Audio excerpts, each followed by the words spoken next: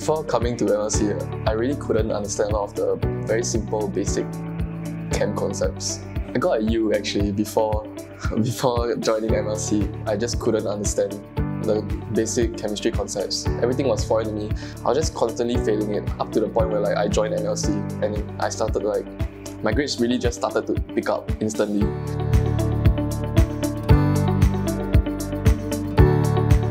Coming to MLC, you just really like helped me grasp the concepts more quickly. And the difference I think is because for MLC, uh, Mr. Lau, uh, the way he teaches, he's very concise with his teachings.